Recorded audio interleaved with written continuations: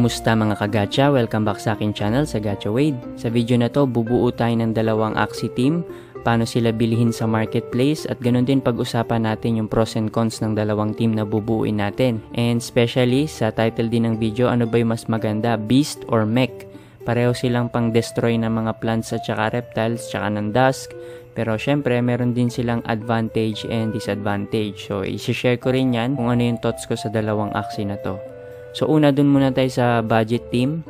And later on papakita ko rin yung gameplay kasi meron akong budget team na binuo at pumapalag din siya talaga sa arena. So yung una, bibili tayo ng beast. Paano ba maghanap ng magandang beast sa marketplace? Yung build na gagawin natin is itong beast na to. Standard beast, Ronin, Imp, Nutcrack, Nutcrack. So Ronin sa back, Imp sa horn, nutcracker sa mouth, nutcracker sa tail. I-search nyo lang yan sa parts. At makikita nyo, pwede nyo rin ilagay yung purity sa 6. Yan. Para pure lang yung lumabas. Wala mga halo. So, ang, ang kagandahan ng beast na to, dahil pure siya, 61 yung kanyang moral. So, mataas yung chance na mag-critical at pag nag-critical siya, mataas din yung damage. Kung mapapansin nyo, hindi na ganun kamahal yung mga pure na beast. Tinan nyo, 245. So, tignan natin kung, kung magkano aabutin. Pare-pareho naman presyo niyan. 245, 245, 245, 253. So, hindi na lalayo. So, sabihin na nga natin 245. Ayan, yung pinakamurang beast. And then next, yung panggitna natin. Ito, gagawin natin na pang likod siya. Lalagay natin sa likod. So, ito yung mga skills niya. Ayan. So, 245. So, maganda yung beast na yan. Mataas damage niyan at yung purpose nito kahit wala siyang zero cost card, kaya naman niya mag-generate ng energy. Yan, mataas yung moral at take note, 41 yung speed nito. Pang gitna naman is reptile. No, kailangan makunat na reptile pero kailangan yung stats niya 42 yung speed. So wag kayong magpu-pure reptile kasi pag pure reptile 41 yung speed niyan. At syempre pag 41 yung speed nila pareho, pag merong mga backdoor bird, pwede niyang targetin yung beast kung sino yung mas mabilis, kung sino yung mas mauuna. So, syempre, dahil mas mababa yung health ng beast, mauuna siya, mas mabilis siya, siya yung tatargetin ng bird pag backdoor siya. So, ang kailangan kasi ng team na to, maprotektahan natin yung beast kasi yun yung main source of damage natin. So, yung panggitna, dapat mas mabilis sa beast. So, ang gagawin nyo lang, filter nyo lang, ilagay nyo lang yung speed niya sa 42. Yan, para yung mga axis na lalabas dito, mga 42 yung speed. At ano mga magagandang parts naman? So for now, ang isa-search ko lang muna is bone sail sa back, tapos grass snake sa tail. Yan. So yan lang muna yung tinype ko. Kayo na yung bahalang mag maghanap ng mga parts na gusto nyo. Basta ang sa akin lang, ang gusto ko sa reptile, meron siyang isang zero cost card. So, pwedeng yung green thorns, pwede rin yung grass snake. So, In this case lang, grass snake lang yung pinili ko. Pero marami ring zero cost card yung reptile. Kayo na yung bahalang mamili. For example, maghahanap tayo ng magandang reptile, no? Halimbawa, ito, o kaya ito, or ano pa bang maganda? Okay, ayan. So, may 232, pinakamura. Tingnan natin kung anong parts yan. So, okay to, solid to. Tinan nyo. Madali siya mag stand kasi may zero cost card. Tapos nagdodraw ng card, may reflect din sa bird. Kapag halimbawa bumakdoor yung bird, ayan, may pang-reflect. Or kapag papatayin siya ng bird, tapos jump, yan, stun. So maganda to, mura pa, 229, di ba? So maraming mura dyan. Ito namang isa, oh, okay din to. Kasi makunat din. 55 ba naman yung health eh, oh taas ng health nito, tas 43 yung speed. Yan, so may mataas siyang damage, hindi lang mga 80-75. Pero ang mahalaga kasi makunat. So okay yung mga 54-55 na health at 41 yung speed. So maganda rin to. So mura din, no? 286. So, yung pangatlo naman, oh, mas mas maganda pa to. Uh, ah, 348 na nga, medyo may presyo na. Pero maganda to. Uh, nakakabalik ng energy pag mas mabilis yung inattack niya posibleng mga aqua yung nasa gitna. Lahat sila maganda, pero kahit alin dito ang mahalaga lang naman is makunat at mas mabilis sa beast. So kung halimbawa ang average niyan 229, 286, 348. So kung bibilihin natin yung mga nasa 280. So, tignan natin. Plus 280. Yan. So, basta pag medyo nagmamahal na, hanap lang kayo ng ibang part. Huwag yung grass snake. Halimbawa, green thorns naman dito, tapos ibang part dito. Sample lang yan sa video na ito yung bubuuin natin, no? Pero maganda kasi itong bone sail dahil nga mataas yung damage, mataas yung shield, tapos nagre- nagdodraw a card. Dahil meron na tayong panggitna, halimbawa ito yung panggitna natin, huwag na muna yung masyadong mahal. Yung pangharap naman natin, plant. So, sa plant, ang mahalaga, para mas makunat, pure. Pure muna tayo, no? Ang gagawin nyo lang, wala naman kayong papalitan dito, yung parts lang. So, plant, tapos yung part, ang type nyo lang, serious, zigzag, herbivore, cactus, beach, yung mga part na yan. So, makikita nyo yung una, 148 lang, oh. Or itong pangalawa, 161. So, napakamura. Ito rin, 163. So, magaganda tong mga to. Uh, hindi ako masyado mahilig sa may mga hill-hill na plant na ganyan. Pag pangharap, kasi minsan hindi na nakaka-heal. So, maganda minsan to pang backline kapag yung pang blood moon. Heal na lang siya ng heal. So anyways, tignan natin to. Oh, the best din to. Tingnan nyo. Kahit hindi to Bidens, hindi nyo naman kailangan ng Bidens kasi hindi naman masyadong makaka-encounter ng mga poison team eh. So kahit hindi na Bidens, mas makakatipid kayo sa mint. Zero cost card yan, 50 shield pa rin yan. So yun lang, hindi na siya Bidens, no? Pero yung kagandahan lang naman ng Bidens, matatanggal mo yung sarili mong debuff, kagaya nga ng mga poison talaga. So mura na to, maganda to, 147, tinan nyo. May pang-agaw ng energy, mataas na damage, balik energy. So solid, napakamura, 147. Yung pangalawang napili natin, wala siyang zero cost card pero makunat. No, may pumpkin, may cactus, may carrot hammer, tapos herbivore pang balik HP. So, solid din to at mura din, 162. Ayan, yung pangatlo naman, wala ring zero cost card. Pareho lang pala sila. Mamili ka na lang sa kulay. Kulay na lang ang basihan dito, tsaka yung looks. Ayan. So, mas mataas din yung presyo, 164. Ito, 162. So, $2 difference. Bahala na kayo kung alin dyan. Pero para sa akin, okay na to tong isa, ito ang bibilin ko kasi nga nasa budget team tayo, hindi naman tayo aakit ng top 100, 'di ba? So tama lang yung makamura tayo at kumita. So kung halimbawa ito bibili natin 147 or sabihin na lang natin average 160. So plus 160. So ita times ko na to sa 50 magkano yung budget sa team na to? 35k. Hindi na masama, 35k mga kagatcha. So kaya pa rin natin bumuo pala no ng team na solid na pangkitaan din at 35k budget. Yung 35k na yon kailangan nasa Ronin na yon as in dollars na siya. So, kailangan nyo ng $685. Pwedeng i-$700 nyo na para hindi naman sobrang saktuhan yung budget, no? I-$700 nyo na at okay na yon solid na yon So mamaya papakita ko yung gameplay ng team na binili ko na budget team. Ngayon naman, ano yung upgraded version ng team na to? So syempre, ito, uh, may upgraded version din na ipapakita ko sa inyo. Kung meron kayo mas budget ng konti. So kung hindi 35k, halimbawa mga siguro tignan natin kung saan aabutin na. So yung yung ano, yung mas upgraded version niya is yung mech. So, yung mech, ang gagawin nyo naman, ganun pa rin yung body parts na hanapin natin. Ronin Imp, Nutcrack, Nutcrack. Pero ang gagawin nyo sa stats, gawin nyo namang 49 yung speed. Yan, 49 yung speed niya. So, ang unang presyo ang pinakamura, ayan, 381, 381, 381, pare-pareho, 381, ayan, 382. So, kayo na lang mamili ng itsura. Sa itsura na lang ang basyan kasi lahat yan pare-pareho yan ng skills. So, halimbawa, ito yung looks na gusto nyo, mas cute yan. So, ito yung bilhin nyo, or ito, mukhang okay. Or kung gusto nyo yung gray, halos wala naman difference yung presyo. So, lagay natin 381. So, yun yung unang ano, aksi na bibili natin. Ngayon yung gitna, dapat mas mabilis sa 49 speed. Kasi ganun pa rin yung ano natin, o purpose, maiwasan na ma-backdoor yung beast or yung mech.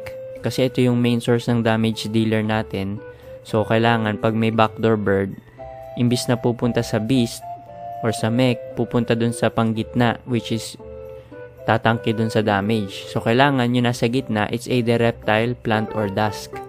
Kasi mahina yung damage ng bird sa ganon. Pero dahil wala namang mabilis na plant, ang option lang natin, reptile or dusk. So in this case, walang masyadong mabilis na reptile, dusk na yung kailangan natin. Kung dun sa kanina, reptile yung panggitna natin, dahil hindi naman kailangan masyadong mabilis, dito naman para mas mabilis, dusk na. At the same time, same purpose din siya. Tatangki siya ng damage at makunat. So, ang gagawin nyo lang kapag dusk na yung pipiliin nyo, ilagay nyo lang dito dusk. Yan, dusk.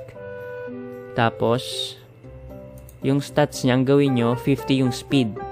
So, hindi pwedeng mas mababa sa 49 kasi nga 49 yung speed ng mech natin. So, 50 yung speed at pwede nyong itaas yung health sa 55. So, ganun din, kasing kunat din halos nung reptile kanina. Kung itong reptile na to, ang buhay niya 55, so ito 55 din. So, parehong pareho sila halos ng stats, speed lang yung itinaas. Ngayon, maghahanap kayo ngayon dito sa DAS kung anong skill yung gusto nyo. So, bahala na kayong mamili dyan. Tignan natin halimbawa ito. Itong dusk na to, no? So, mapapansin nyo, oh, solid. Makunat, mabilis, tapos maganda may zero cost card. May mataas na damage na disable ng mount, may pang stun, madaling i-activate yung stun kasi merong vine dagger. Tapos mataas din na shield, 50. So ako, okay na sa akin to. Magandang ano na to. At hindi rin ganun pala kamahal, ano? So, pwede pa rin kayo maghanap ng mas mahal-mahal kung may parts na mas gusto kayo. Pwede rin naman na walang zero cost card eh. Kagaya nito, walang zero cost card. Ayan. So, mas makunat naman to. At may posible pang bumilis. Kasi may kakombo siyang Blue Moon. Tapos keratin, dagdag shield, pang stun. Pero ako lang mas prefer ko lang yung may zero cost card na isa. Kahit sa part, basta may zero cost card. Pantanggal ng mga stun or anything. Although, kahit walang zero cost card, pwede pa rin naman. Basta nagustuhan nyo yung combination ng skill. Kasi uh, may energy generation naman tayo dun sa beast natin, yung Ronin Imp combo niya. So, hindi naman kayo basta mabibitin sa energy kahit may mga bayad lahat yan. Pero very flexible kasi talaga kapag may zero cost card. So, hanap pa tayo ng isa pang example na maganda. O, oh, ito, pwede rin to mga kagacha, oh. Tinan nyo. Uh, 60, 60, may zero cost card, tapos isang may chance na pumunta sa beast or bird ng kalaban. Pag natsambahan nyo yun na pumunta siya doon, ayos, 'di ba? So makunat din no, 55 yung health oh. Parang plant, yung parang reptile din, 'di ba? Tapos 50 yung speed. Tapos may heal. Ay nako, maganda 'to. Maganda 'to mga kagacha kasi pag pumunta to sa beast ay pag pumunta to sa bird, tapos ginamit nyo to, tatlong card lang patay yung bird diyan. Ito, tapos dalawang ganito patay yung bird. Ayos to, mas solid to. So maraming option. So sabihin na natin, ayan, 280 no. So, plus 280. 661 na.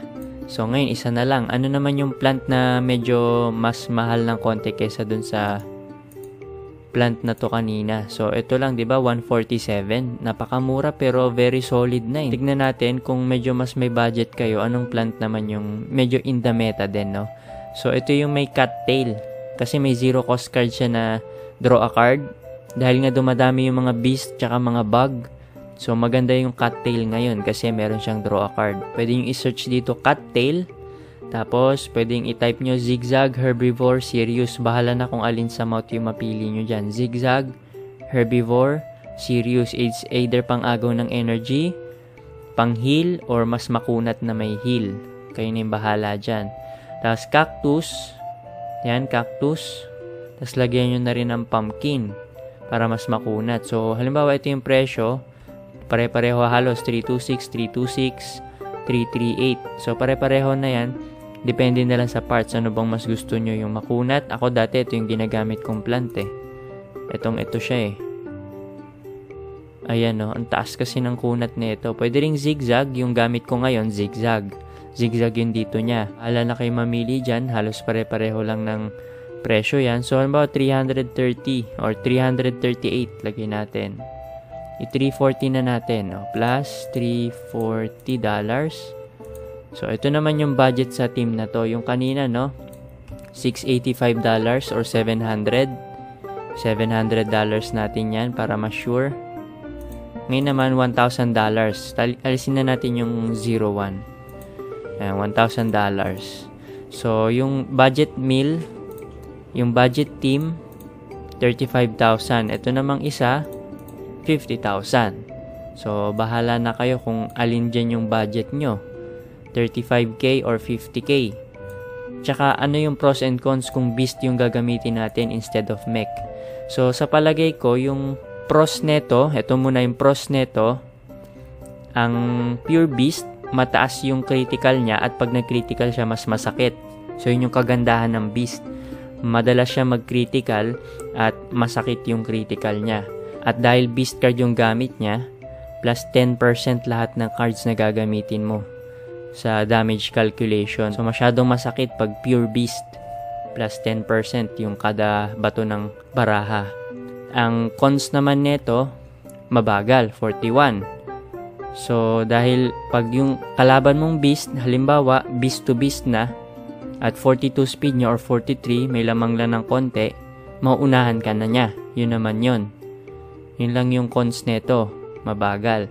Yung isa naman, yung mech, Okay, pag mech kasi, ganito, okay, masakit pa rin yung damage niyan, pero walang plus 10% kada bato ng baraha, plus 7.5% na lang siya. Kasi hindi niya na-card yan, pero dahil hybrid siya, any cards na gagamitin mo dito, plus 7.5% yung damage. Imbis na 10% kagaya ng beast. So, mas masakit yung pure beast, pero ito, ang advan ang ang pros nito, bukod sa may bonus din naman na damage, mas mabilis. Ito naman yon Sobrang bilis niya. 49. So, kaya siyang mauna sa, sa ibang reptile, sa sa ibang dusk na hindi 50 yung speed. Marami pa ring dusk na hindi 50 yung speed. Kahit yung mga Terminator, 47 yung speed ng mga dusk na Terminator, no? 47. So, mas mauuna pa rin siya sa Terminator. So, yun yung kagandahan nito. Pero yung moral niya mas mababa ng konti, 41 imbis na 61. So, hindi ganun kataas yung chance niya na mag-crit, pero pag nag-crit pa rin, medyo masakit pa rin yan. Pero 20 rin yung ibinaba compare dun sa dito. 61 kasi to. Pero ang kagandahan naman ng, ng ano ng mech, ito kasi 31 lang yung skill. Kapag kumombo siya, hindi masyadong mataas yung additional damage ng combo niya, 31. Yung mech naman, 43. So, kita nyo yung difference. 43 yung skill neto versus 31. So, mas mataas ng 12 yung isa. So, kapag kumombo naman to, ganun din, masakit din. So, parang parang pareho na lang din sila halos ng damage kasi ito less yung damage niya, less 10%, pero masakit din kapag kumombo kasi mataas yung skill. Pero less critical at pag nag-critical, hindi ganun kataas yung damage. Pero pareho lang silang masakit. Siguro patay pa rin naman kahit sinong plant or reptile pag kinombo mo ng ganyan. So, ayan. So, yun yung dalawang pros and cons nun. Bukod sa presyo, uh, ito yung pinakang highlight kasi natin. It's either beast ang gagamitin nyo or mech. Kayo ni bahala mag-decide dyan. So, ngayon, papakita ko sa inyo yung gameplay ng team. Ito kasi yung team ko ngayon, mga kagacha. Papakita ko sa inyo. Ayan. So, very basic. Okay, so ito yung, yung current team ko ngayon mga kagacha. Very budget friendly na lang to, no? Ito ngayon nasa 35k lang. 35k, 40k. Kasi maganda rin yung nabili kong reptile. Hindi siya very cheap. Pero nasa mga 40k naman to, gitna ng 35 at 50k.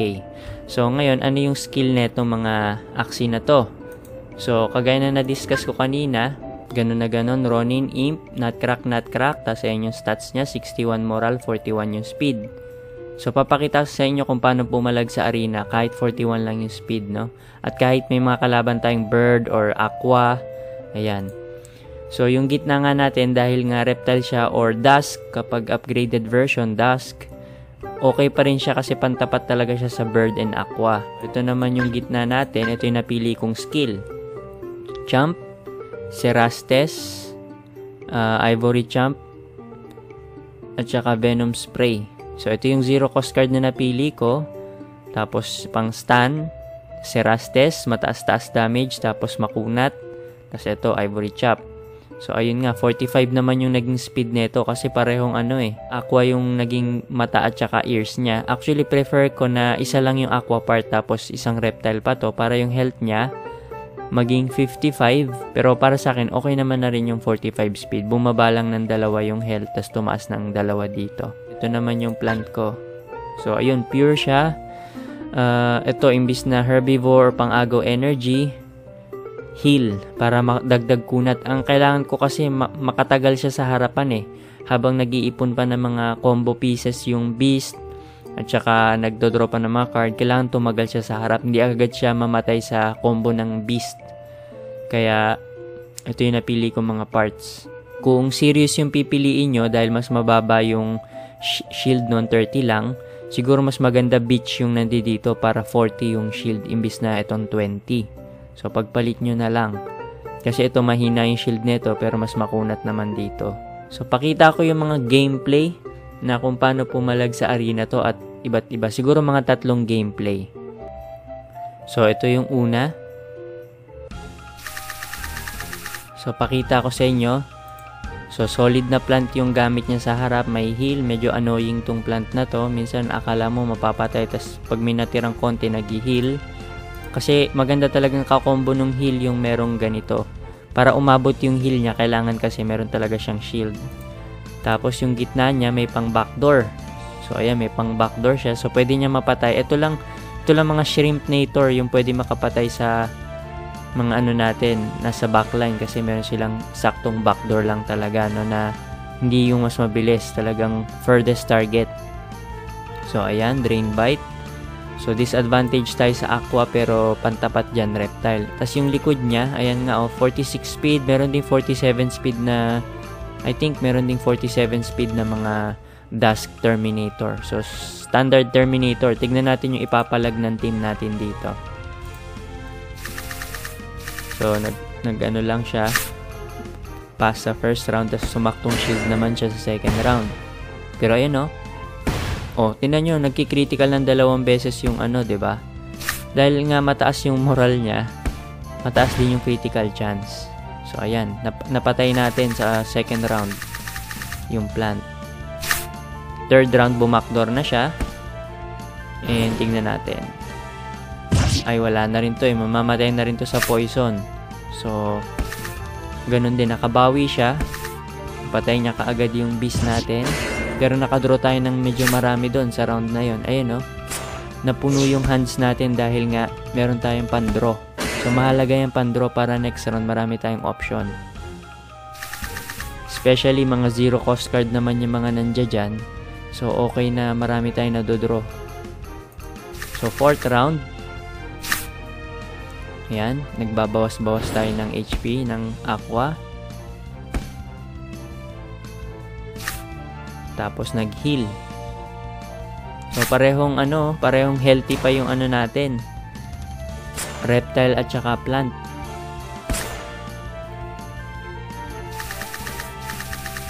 So kahit na backdoor na yung main damage dealer natin, papalag pa rin tong dalawang to sa Terminator ay no, nahihirapan siyang ubusin yung buhay o parehong malusog eh.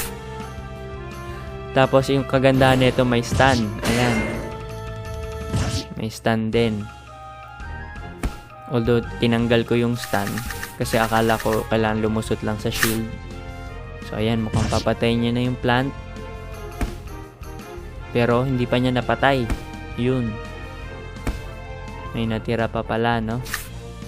dahil lang sa isang pumpkin tapos nakabawas pa ng konti yung cactus yun lumiit pa yung buhay niya so wala na to stun na to patay na to yan huwag na kayo mag-shield pag ganun so yan pinoison ko lang muna siya and then tumira ulit ako ng marami so una siya dahil mas mabilis siya ayan pero sobrang taas ng shield o oh. tinan nyo So, mahihirapan siya dyan. Kahit unahin niya yung stun, mahirapan din. Kaya mas pinariority niya na lang yung ano, stun sa huli para mag-miss yung isang attack natin. Pero wala yon Taas pa rin kasi ng damage.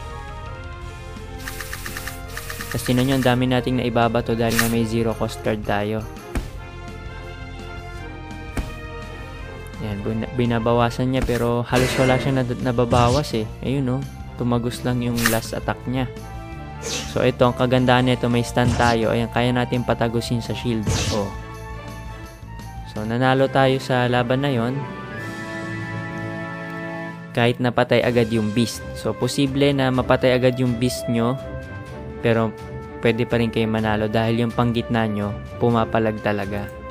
Okay, ito naman, yung mga common na nakikita natin, masakit na kalaban to, 'di ba? Yung double anemone na ganitong setup tapos may pang backdoor. So dito nyo makikita ngayon yung yung backdoor bird. Ayan. Mahal din tong bird na to. Yung ganyan. Oo, medyo mahal to. Kasi may hair dagger. Tapos ito, ayan o. May pangkagat. Tapos ito. So solid na solid tong team na to. Medyo mahal yung budget dyan. Pero kasi itong pang backdoor niya, dito nga mapupunta yan. So siguro kung kung hindi aware yung kalaban na mas mabilis yung reptile natin, kung hindi niya tinignan, baka magulat siya akala niya dito pupunta yung backdoor. Pero sa reptile. So first round, wala silang ginawa, ipon energy sila, kala ko a-attack. Second round, nag-iipon ng energy habang nagbabawas ng pakonti-konti pero okay lang tayo naman, ayan. Mataas yung bawas ng Cerastes dito. Oh, 152 oh. Hmm, tinapos na natin. Dalawang Cerastes, halos mamamatay ang ako. Masakit kasi talaga yung Cerastes. So, ayun, bumakdoor siya. Pero pumunta lang sa ano, sa reptile. Oh, kahit walang ka-shield shield, oh, buhay na buhay. buhay na buhay. Tapos bumakdoor ulit pero kumunat ulit yung reptile. Kung di na naman niya napatay. Dahil sa backdoor na yun, nasayang yung tira niya. Tapos tayo naman, ayan, ini-stun na natin. Pero matatanggal din yung stun ni plant. Yan. Pero patay na. O, ba? Diba? So, hindi nakapalag yung mga backdoor niya kahit wala pa lang shield, no? Buhay na buhay yung reptile natin. So, ayun, pinatay niya na.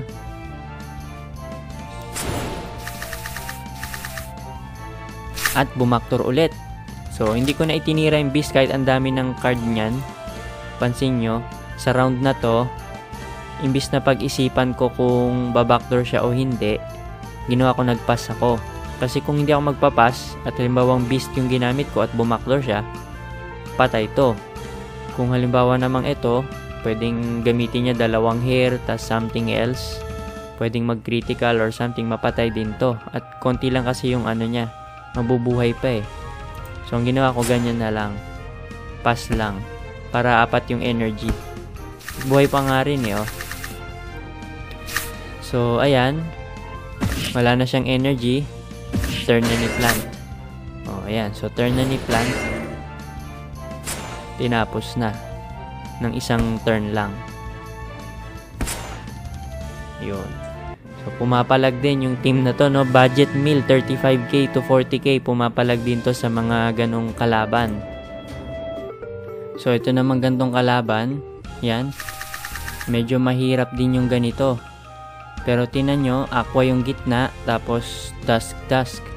So, mahirap mag-ipon ng energy sa ganito. So, hindi basta-basta makakokombo naman yung beast natin sa ganitong sit- sitwasyon. Kasi pag nag-bug signal yan, nag-bug signal, hindi talaga tayo makakaipon ng tatlo. Kasi kailangan niya ng tatlong card, ng tatlong energy para maka-Ronin, Imp, and something else para mag-crit yung Ronin. So, dahil hindi tayo makakaipon, kailangan tumira na kaagad tayo. So, first round, tinira ko na kaagad yung ano, Ayan, di ako gumamit ng Ronin sa first round para patay agad tong dust niya. Hindi ako gumamit pala ng Imp. Ayan, so hindi ako gumamit ng Imp kahit walang balik energy kasi baka nakawin lang din eh.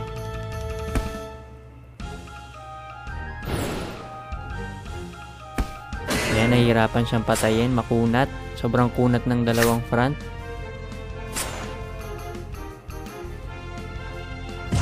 So again, ang pantalo lang talaga dito sa backline is kapag may shrimp nator, yun lang yun. O kaya yung ano, sneaky raid ng reptile. So, ayun na, nangaagaw ng energy. Oh, pero ginagamit natin kaya wala siyang naaagaw. Ni-spend ko na lang kesa naman makuha. Ayan, no. Oh, wala siyang nakukuha.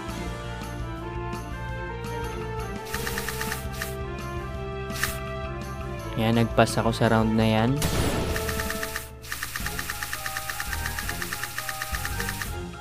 Ayun. Sobrang kunat ulit ng reptile natin. Masakit yung Cerastes. 150 plus. Yun. Tapos itong nasa likod niya. Yung dusk, nanghihigop din ng buhay. Pero mahirapan talaga yan makadaan dito eh. Sa reptile talaga yung mid natin. Nag-crit pa. Dami ring attack nun ah. Ayun no, may pang heal din siya. Kaya hindi natin basta-basta papatay. Nagkikrit pa. Punong-puno pa yung buhay niya. So, ang ginawa ko, stun lang muna. Yan. Pero may heal back lang din niya yan eh. Yung nabawas natin konti. Ayan. I-heal back niya yan ulit. So, ayan. Puno na ulit buhay niya ngayon. Mas mauuna siya. So, ayan. Kailangan natin makasurvive dyan. Yun no, nagki-critical na nagki-critical. Nakailang critical na yung dusk na yun ah. Sipin nyo, dusk nagki-critical ng ganun karaming beses, no? Ayun no, tinan nyo. oh. Kahit punong-puno yung buhay, tas may shield. Ubos. Yun yung advantage ng pure beast. Punong-puno yung buhay niya, tapos may shield pa. Pero ubos sa isang straight up combo. Di ba? Kasi nga, masakit yung damage ng beast. So, ito, last fight naman. Tignan naman natin pag parehong beast yung nasa likod. So, itong beast na to, mas mabilis sa beast natin. Ayan o, sobrang bilis o. 47 yung speed, tapos masakit. Ayan pa, may nitro leap pa. Laging first siyang attack pag nag-last stand.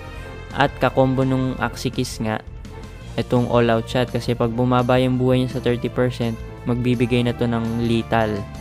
Ayan. So, magandang beast to, mahal din to, pero tignan natin kapag beast sa beast yung matitira, tapos dalawa makunat din, tayo rin dalawa makunat. Sino yung mananalo, yung mabagal na beast or yung mabilis na beast? Ayun no, number 1 no. So, tignan natin.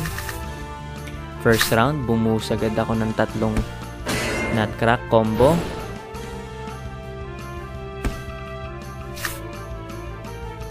Yan, first round. Siya naman walang naagaw.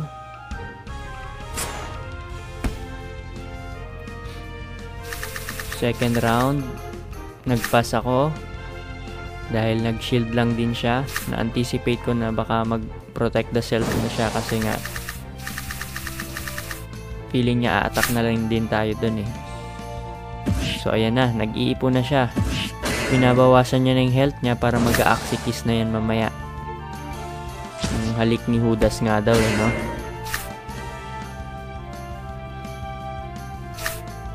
Ayan, napo-poison-poison na tayong lahat. May poison din yung beast natin. So, medyo bumababa yung health natin sa backline. Yun, isang kalmot. Ayan na. So, parehong makunat. Parehong bawas na yung backline. Pumombo na ako. Nag-iipon din siya ng energy kasi tatlo lang energy niya. Gusto niyang i-one turn kill tong ano natin. Pero sobrang kunat pa rin eh. Hindi pa rin kaya sa one turn unless mag-critical yung dual blade niya. Mataas din yung moral nito, 55. Ayun, di nag-critical yung dual blade. Tayo naman, kinain na lang ng reptile. Ayun. If ever, if ever naman na makasurvive siya doon, so next round, papatay niya yung reptile. Yung beast naman natin, tatapusin na siya. So, hindi niya rin talaga kayang i-one turn combo yung reptile, no? Ang taas kasi ng shield pag reptile.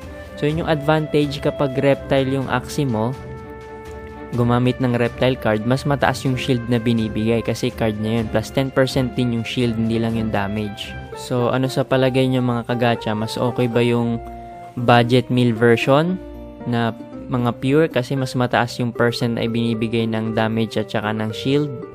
Or mas prefer nyo yung mech at saka dusk na mas mabilis. Mas maganda rin naman yung ganun talaga. Although hindi ko mapapakita yung gameplay dahil wala akong ganun. Pero solid din yun, yung mech at saka yung dusk. Mas mabilis kasi sila. So marami silang mauunahang mga kalaban. So, salamat sa panonood. Sana na-enjoy nyo itong video na to at meron kayo napulutang aral. Kahit papano, alam nyo na kung ano yung mga magandang team ngayon na hindi kailangan gumastos talaga ng todo-todo, no? So, solid na rin yung ganitong team. So, huwag kalimutan mag-subscribe and see you sa next video.